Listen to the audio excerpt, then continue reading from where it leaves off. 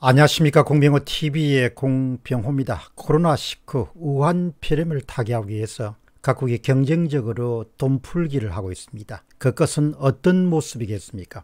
스톱 사인을 무시하고 계속해서 올라가고 있는 집값의 이면에는 풍부한 유동성 공급이 뒤를 받쳐주고 있기 때문입니다. 이런 추세가 방향을 돌리지 않을 수 없는 그런 시점은 언제이겠습니까? 또한 그때는 어떤 상황이 일어날 것으로 봅니까? 첫 번째 질문은 세계적인 돈 풀기 현상입니다. 세계 각국은 코로나19로 아주 침체된 경기 불황 상황을 타개하기 위해서 천문학적인 유동성 확대에 나서고 있습니다. 2008년 글로벌 금융위기 이후부터 미국의 연준은 2014년까지 3조 7천억 달러에 육박하는 유동성을 국채와 민간 채권 매입 방법으로 공급했습니다. 엄청난 돈을 시중에 풀어놓은 겁니다. 미국 중앙은행은 4월에 기업 대출과 정크본드를 포함한 회사채 매입 자금으로 2조 3천억 달러의 대규모 경기 부양책을 발표했습니다. 또한 재무부 보정을 통해서 초저금리로 4조 달러를 추가적으로 직접 공급할 대출 창고도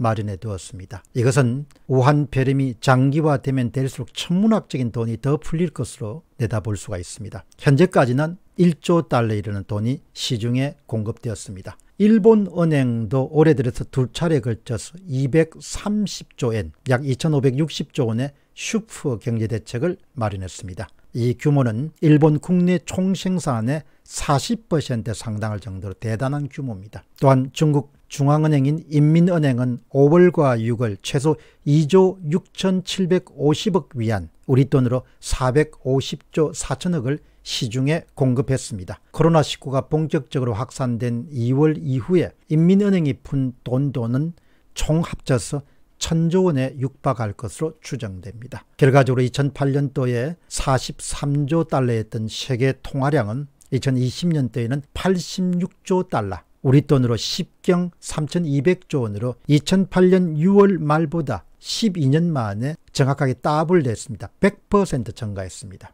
한국도 2008년도에 통화량 지표인 M2를 기준으로 해서 1,430조 원이었지만 2020조에는 22년도에는 2배가량인 3,019조 원으로 사상 처음으로 통화량 공급이 3천조를 돌파했습니다. 다음은 돈풀기의 충격입니다. 정부의 전폭적인 자금 지원에 힘입어서 이번 경제 위기에서는 각국 기업들은 과거보다는 상대적으로 돈 가뭄에 덜 시달리는 편입니다. 아마도 이 같은 경제 위기 상황이었다면 기업들의 자금난은 아주 심각했을 겁니다. 이런 통화 공급에 힘입어서 한국의 경우만 하더라도 원달러 한 줄이 1200원대의 비교적 안정세를 보이고 있습니다. 중국은 기업 부채가 2008년도 4조 달러에서 2020년도에는 20도 달러로 폭등했습니다. 대규모 자금 공급 증가에 따라서 미국, 중국, 한국, 유럽 등은 공통적으로 정부의 자금 지원에 의존하는 좀비 기업들이 대폭 늘어나고 있는 추세입니다. 그런데 우리가 주목해야 될 것은 더욱 뚜렷한 현상은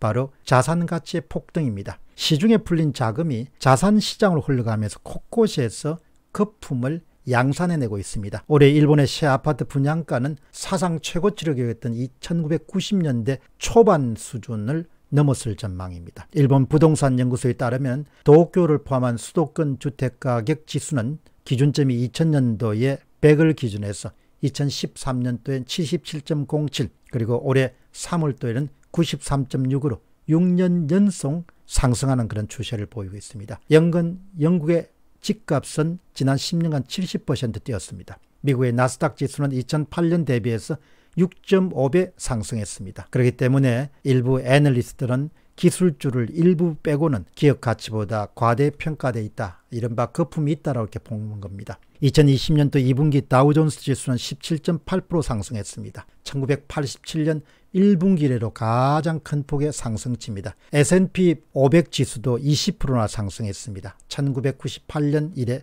최대 상승폭을 기록했습니다.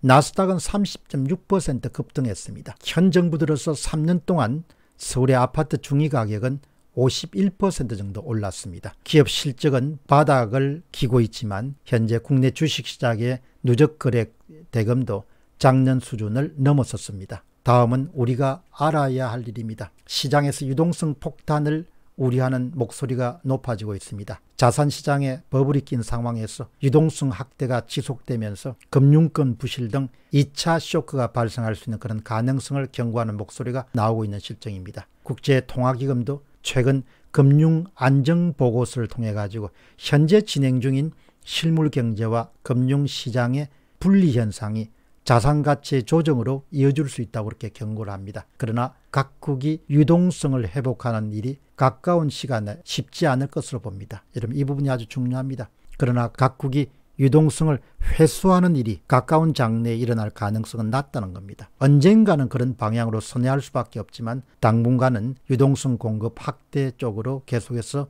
나아갈 수밖에 없을 것으로 봅니다. 때문에 지난 4월 13일 날 CNBC와의 인터뷰에서 JP보간 체이스의 마르코 콜라노비치 글로벌 매크로 퀀텀 및 파생상품 전략 담당 대표는 의미심장한 전망을 했습니다. 미국 정시가 내년 상반기에 사상 최고치에 이를 전망이다. 이 같은 전망의 가장 중요한 근거는 미국 정부의 대규모 경기 부양책이 지속된다는 것을 바탕으로 두고 있습니다. 일부 전문가들은 당분간 금리를 올릴 수 없는 그런 상황을 가정하고 대출의 바탕을 둔 투자를 권하기도 합니다. 대출의 자산 가치가 올라가고 화폐 가치가 떨어지기 때문에 그러나 이런 결정을 수용할 때는 누구든지 만약의 상황도 염두에 두어야 될 것입니다. 여기서 만약의 상황이라는 것은 바로 방향이 선회할 때를 뜻합니다. 공병호 TV의 공병호였습니다.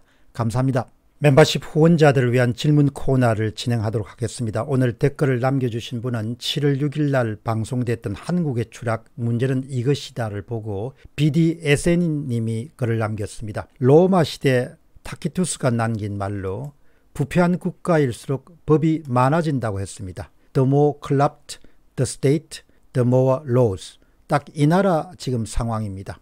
숨도 못 쉬게 온갖 법으로 옴짝달싹 못하게 하는 것은 자네 보는 것이 아니라 전체주의 국가로 가리는 의도적인 책략이 아닌가라는 생각밖에 들지 않습니다. 할 말이 별로 없습니다. 위헌 입법이란 아무런 제약 없이 법이 쏟아져 나오고 있는 실정입니다. 그 모든 법들은 옥죄는 겁니다. 옥죄는 겁니다. 사람은 그냥 옥죄는 겁니다. 우리가 거대 정부에 저항해야 되는 이유가 있습니다. 거대 정부는 우리를 번영의 길이 아니라 가난의 길로 자유의 길이 아니라 예속의 길로 그렇게 노예의 길로 이끌기 때문입니다. 더 많은 국민들이 정부에 의존하는 노예의 길이 우리가 가야 할 길이 아니라는 것을 깊이 인식하는 그런 기회들이 많이 생겨나기를 바랍니다. BDSN님들은 멤버십 프로그램에 후원자로 가입하시는 분들은 질문이나 댓글을 글을 남길 수 있고 저는 답하는 시간을 갖고 있습니다. 여러분은 공명호 TV뿐만 아니고 새로 출범한 영어방송 GONG 공TV를 통해서 많은 도움을 받으실 수 있을 것입니다. 감사합니다.